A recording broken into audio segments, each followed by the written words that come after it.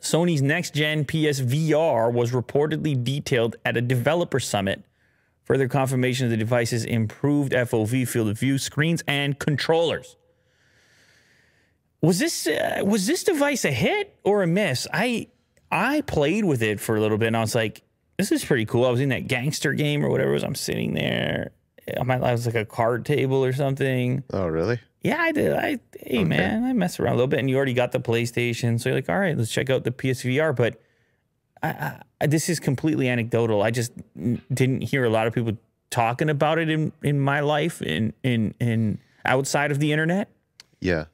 It seemed that as far as VR was concerned, it was I was hearing a lot more about some of the newer Oculus stuff mm-hmm. as opposed to the PSVR.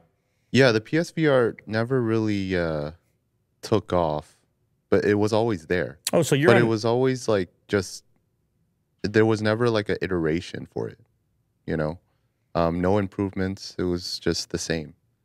But uh, But see, that kind of happens with peripherals for consoles because they're, it's all about like a standard, have, setting a standard, and, and whether it's a controller that you plug into the thing or a camera or these accessories have to work backwards Sure. with all the versions of that console that were released, or at least they want maximum compatibility.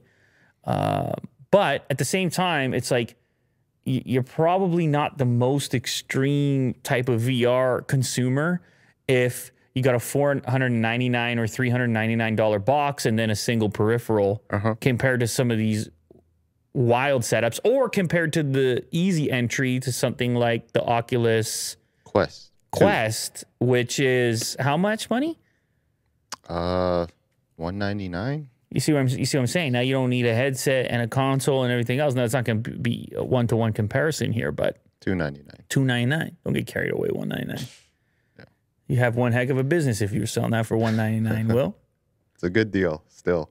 All right go back to the psvr thing though here okay the next some specs. the next gen psvr connects to playstation consoles through a single cable no pass-through box ne- necessary good Mm-hmm.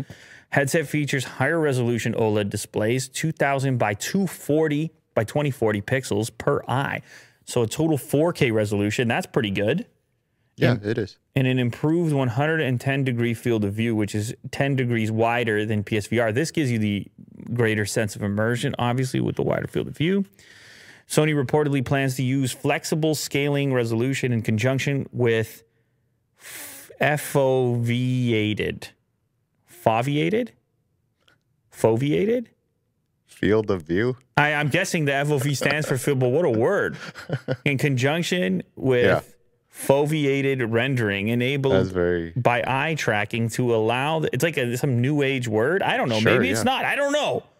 To allow the device to only render when you're actually looking at it. Ah, save on the resources. Mm-hmm. Better experience. Who cares if you're not looking at it? The overall goal being to being to reduce the strain on the PSVR and PS5 and improve performance.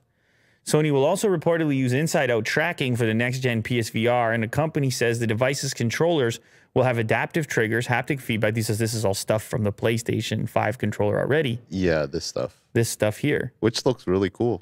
If uh the goggles or the headset looks like this in the same style, which it probably will, it's yeah, it's not bad.